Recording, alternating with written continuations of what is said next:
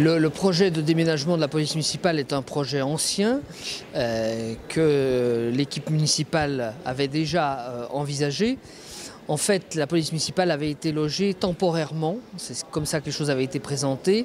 L'augmentation des effectifs, voulue par mon équipe municipale, conformément aux engagements que nous avions pris devant les Chambériens, aboutissait aujourd'hui à une totale promiscuité.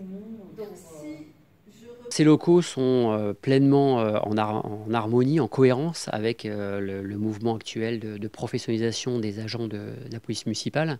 on a aujourd'hui donc un outil du matériel, des formations et des locaux qui, sont, qui nous permettent en fait d'aligner l'ensemble des éléments pour une police municipale vraiment professionnelle.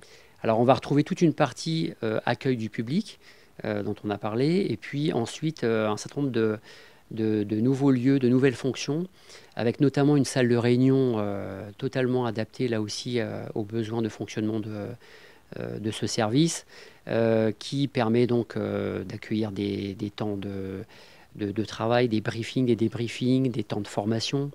cette salle permet également de, prendre la fonction de PC de crise communale.